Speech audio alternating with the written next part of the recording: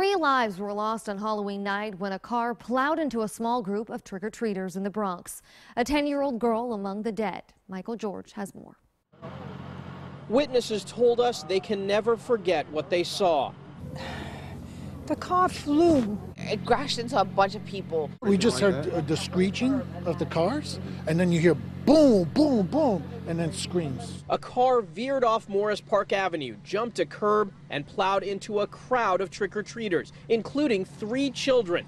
Witnesses described seeing kids in Halloween costumes with horrific injuries. The little girl in the cat costume was, she, she's hurt, but she was like screaming and she was coherent. But the seven year old? Three people were killed, including a 10 year old girl.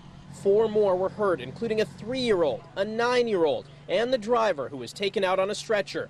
Christina De Jesus tried to help a young girl who was knocked unconscious. So when she finally came to, I'm just like, stay still, like, don't move, don't move. When I turn back, I'm just yelling at everyone, call 911. Trick or treaters watched in horror as investigators tried to figure out what caused the driver to run off the road. We spoke with Uber driver Musa Chowdhury. He says he was driving right in front of the car that hit the crowd.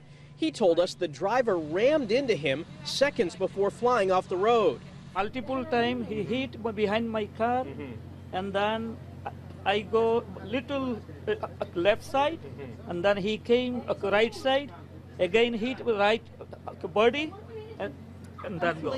Yeah, and then my flying. As a huge number of officers combed the scene, the car was left sitting on someone's front lawn, with neighbors who saw the carnage praying for the victims and praying that what they saw wasn't real. It was horrible. It just didn't look real. It looked fake.